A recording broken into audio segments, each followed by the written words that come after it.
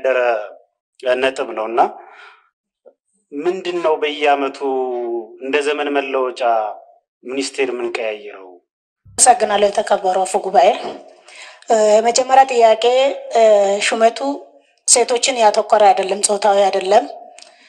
ሲቀጥል የዛሬ አመት ነው አስፈጻሚዎችን ሹመን ያበቃ ነው። ለውጣቸው ምንድን ነው? ዛሬ ተሻግረን ለዚህ እንደገና አዲስ ሹመት የምናጸድቅላቸው ምንድን ነው የሚል ጥያቄ ነው። አመሰግናለሁ።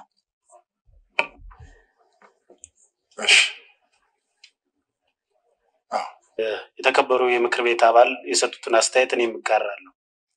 በሁለት ሺ አስራ አራት ነው አስፈጻሚ አካላትን አዋቅረን ሚኒስትሮችን የሾም ነው። ሀገራችን የተረጋጋ አመራር፣ የተረጋጋ ስርዓት እና ቀጣይነት ያለው የተቋም ግንባታ ያስፈልጋታል የሚለው በሁሉም ዘንድ ስምምነት ተፈጥሮበት ያደረ ነጥብ ነው እና ምንድን ነው በየአመቱ እንደ ዘመን መለወጫ ሚኒስቴር የምንቀያይረው? ለምንድን ነው በአንጻራዊነት ተቋም መገንባት የሚችሉ አመራሮችን አጥንተን በደንብ መርምረን ማምጣት ያልቻል ነው? በየጊዜው የሚካሄደው የአመራር ለውጥስ መቀያየርስ ማቆሚያው እንዴት ነው? እና ምክር ቤቱ ከዚህ አንጻር ምን መውሰድ አለበት የሚል እንደው አስተያየት ለማቅረብ ያክል ነው። እነዚህ ተሿሚዎች እንግዲህ የቀረቡልን profile ኣቸው የሁለቱ ቀርቧል። የዶክተር ግርማ አመንቴ ግን profile ኣቸውም አሁን የተከበሩ የመንግስት ተጠሪ ሲያቀርቡ ካልሆነ በቀር አልደረሰንም። ሁለተኛ የእነዚህ ሚኒስትሮች በዚህ በምክር ቤት ደረጃ እነዚህ ሚኒስትሮች የሚሾሙባቸው ተቋማት የሚከታተሉ ቋሚ ኮሚቴዎች አሉ። at least እነዚያ ቋሚ ኮሚቴዎች ስለ ግለሰቦቹ profile እና ከተቋማዊ ባህሪ አንጻር ምን አይነት quality leadership quality ያስፈልጋል የሚለውን አስተያየት እንዲሰጡበት የማድረግ አሰራር ምክር ቤቱ ቢከተል ምናልባት ቀጣይነት ያለው የተረጋጋ አመራር ከመስጠት አንጻርና የተሻለ ብቃት ያላቸውን ግለሰብ አመራሮች ለመሾም የተሻለ ይሆናል የሚል እምነት አለኝ። በተለይ እኔ ከዶክተር ግርማ ከክቡር ዶክተር ግርማ ጋር ተያይዞ ሪዘርቬሽን አለኝ እና ድምፅ አሰጣጡም እያንዳንዳቸው በተናጠል ቢሰጥ የሚል አስተያየት አለኝ። የተከበሩ ዶክተር አለሙ ስሜ ሁላችንም እንደምናውቀው አገራችን በከፍተኛ ሁኔታ ህልውና አደጋ በወደቀችበት ጊዜ እኔም በአይን ያየሁትን መመስከር ስለምፈልግ ለሀገራችን ከፍተኛ ውለታ ያዋሉ ምናልባትም ከኢትዮጵያ መንግስት አመራሮች ፖለቲከኛ ሆነው ከወታደሩ ጋር አብረው እዛው ምሽግ እያደሩ ከፍተኛ መስዋዕትነት ሲከፍሉ የነበሩ ስለሆነ የእሳቸውን እኔ በግሌ የሚቃወሙም አይደለም። የዶክተር ግርማ ላይ ግን ሪዘርቬሽን አለኝ። አመሰግናለሁ። አመሰግናለሁ በመስጠት በህዝብ ውስጥ አንገብጋቢ የሆኑ ጉዳዮች ጥያቄዎችንም በተገቢ መንገድ እና በተደራጀ መንገድ በመፍታት እንደዚሁ ፍትሐዊነትን በየደረጃው እያረጋገጥን የመሄድ ጉዳይ ላይ ልዩ ትኩረት መሰጠት አለበት ተብሎ የተቀመጡ አንዳንድ ኃላፊዎች ለምሳሌ ማዕድን ዘርፍ ላይ የሚመጣው ሰው በሀገሪቱ በጣም ብዙ አይነት ከማዕድን ልማታችን ከማዕድን ሀብታችን አኳያ ሰፊ እምቅ ያለባቸውም አካባቢዎች ስላሉ እነዚህ አካባቢዎች ላይ ትኩረት ሰጥተው ቢንቀሳቀሱ የበለጠ ሀገራችንን ይቀይራሉ፣ ኃላፊዎችም ውጤታማ ይሆናሉ፣ የህዝባችንም ጥያቄ ይመለሳል የሚሉ አስተያየቶች ቀርቧል። ይህን እንግዲህ በጋራ ሁላችንም እየሰማን ስለሆነ ቀጣይ የምክር ቤት እኛም ምክር ቤት አባላትም በቋሚ ኮሚቴዎቻችንን በኩል የእቅዱን እቅድ አፈጻጸሙን አጠቃላይ ነገርን ስለምንከታተል በማገዝም በጋራ ሆነን ኢትዮጵያን ለመቀየር የጀመርነውን ስራ ማጠናከር የሚያስችል አስተያየቶች ተሰጥቷል። ስለዚህ ይሄ አስተያየት ስለሆነ ለዚህ አስተያየት እኔ አድናቆትን ለማንሳት ነው።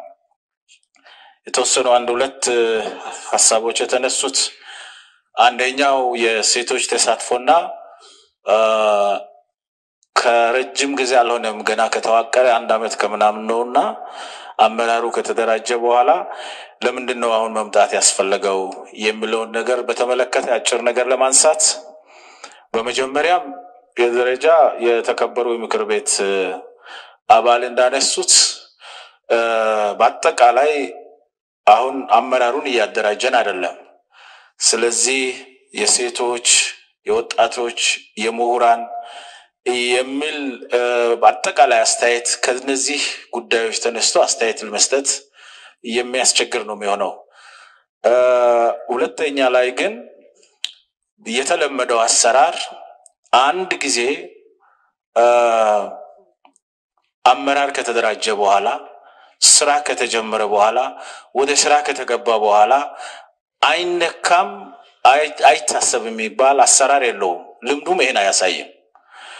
በአጠቃላይ አመራሩን መልሶ ማደራጀት ስፋት ባለው መልኩ መልሶ ማደራጀት እንደተባለው ለምሳሌ የአምስት ዓመት ምርጫ ጊዜ አልቆ ሌላ ምርጫ ተካሂዶ ያን ምርጫ ተከትሎ የመንግስት ምስረታ ሲኖር በአጠቃላይ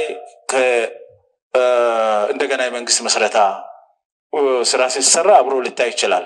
በየመሃሉ ግን መንግስት እንደ አስፈላጊነቱ ስራዎችን እየገመገመ እንደ አስፈላጊነቱ አመራሩን የማሸጋሸግ የማጠናከር በተለያዩ ቦታዎች ላይ አዟዝሮ የመመደብ ስልጣን አለው።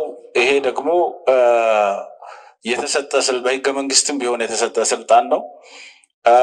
የተለመደ ማሰራር ስለሆነ ከአሰራር አኳያ ችግር የለውም ማለት ነው። ዛሬ ማቅረብ ብቻ ሳይሆን ሌላ ጊዜም እንዲህ አይነት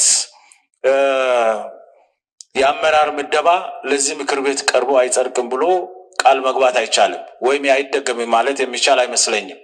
እስካሁን በመጣንበትም መንገድ አመራሩን ወደ ስራ ሰው ከገባ በኋላ የተመደበው ሰው አመራር በተለያዩ ምክንያቶች እየታየ የማሸጋሸግ የማጠናከር እናም አዟዝሮ የማሰራት ውጤታማ ሰዎች ሊሆኑ በሚችሉ ቦታዎች ላይ እያዩ መሄድ የተለመደ አሰራር ስለሆነ ብዙ ችግር አለው የሚል እምነት የለም በእኛ በመንግስት በኩል። ግን የተከበሩ የምክር ቤት አባላት ያነሱት በመንግስትም ደረጃ ትኩረት የተሰጠው ያልተረሳው ተቋም ከመገንባት አኳያ የተረጋጋ የአመራር ስርዓት ከመፍጠር አኳያ የሚሰራውን ስራ በተመለከተ በየመሃሉ የሚመጣው ነገር ይህንን disregard ያደርጋል ወይም ይህንን ያናጋል የሚል እምነት የለንም። ይሄ አስተያየት ትክክል ነው፣ ግን በጋራ ተጣጥመው የሚሄዱ ናቸው የሚለውን ሀሳብ ለማንሳት ነው። ምናልባት የክቡር የተከበሩ የክቡር ዶክተር አለሙና የኢንጂነር ሀብታሙ በተመለከተ ከስራ ልምዳቸውና ከትምህርት ዝግጅታቸው አኳያ ሲታይ ብዙ የሚያስቸግር አይደለም። አሁን በመጣው መንገድ አይተን ብናጸድቅ የተሻለ ይሆናል። እነዚህ አመራሮች በተለያዩ ቦታዎች ላይ ይሰራሉ። ነገር ግን እንደ አመራር ዶክተር አለሙም አሁን በቀረቡበት ቦታ ብቃት ያለው አመራር ማረጋገጥ እንደሚችል በመንግስት ደረጃ ታምኖበት ነው። ኢንጂነር ሀብታሙም በተሰማሩበት እርሳቸው በእርግጥ ረጅም ጊዜ የሰሩት ከምህንድስና ጋር በተያያዘ ነው። አሁን ያለበት ቦታም እንደዚህ አይነት የስራ መስክን የሚጠይቅ ስለሆነ ስለዚህ የቀረበውን በዛ መልኩ ማየቱ ተገቢ ነው። የተከበሩ የምክር ቤት አባላትን concern በ positive አይቻለሁ። ግን የቀረበው ብዙ የሚያናጋ አይደለም። በውጤታማነታቸውን የሚከለክል አይደለም ብቻም ሳይሆን የቀረበው በተሻለ መንገድ ስለሆነ በዚህ መልኩ ብታይ ጥሩ ነው። የመጨረሻው የአመራር የተከበሩ አቶ ክርስቲያን ያነሱት የአመራር ምደባውን በተመለከተ እዚህ የውሳኔ ሀሳቡን ሳቀርብ በግልጽ እንዳብራራሁት በህገ መንግስቱ አንቀጽ ሰባ አራት ንዑስ ቁጥር ሁለት ላይ እዚህ ምክር ቤት ቀርበው የሚሾሙ ሚኒስትሮች ማን እንደሚያቀርብ በግልጽ ተደንግጓል። ስለዚህ በግልጽ የተቀመጠ ሀሳብ ነው ማለት ነው። በዚህ መሰረት በተሰጣቸው ስልጣን መሰረት ነው የፌዴሪ ጠቅላይ ሚኒስትር አመራሮቹ በምክር ቤት ደረጃ ታይቶ ሹመታቸው እንዲጸድቅ ያቀረቡት። ከዚህ አኳያ ለአመራሩን መለየት፣ መመልመል፣ ለይቶ ለምክር ቤቱ የማቅረብ ስልጣን በክቡር ጠቅላይ ሚኒስትራችን የተሰጠ ነው። በዚህ መልኩ ነው የቀረበው። የምክር ቤቱ አባላትም ሆነ ግን ቋሚ ኮሚቴዎች የቀረቡ እጩዎች ላይ ተጨማሪ ያልታየ መረጃ አለ ካለ የሚል አካል ካለ የሚቀርበውም ለዛ ስለሆነ ሊቀርብ ይችላል ማለት ነው። አሁን የቀረበው ጥሩ ናቸው፣ ግን ከአሰራር አኳያ የተባለው እስካሁን ባለው አሰራር አሁን የቀረቡ እጩዎች የቀረቡበት አሰራር ትክክለኛ ስለሆነ በዚሁ መልኩ አይቶ እጩዎችን ተቀብሎ ማጽደቅ ተገቢ ይሆናል።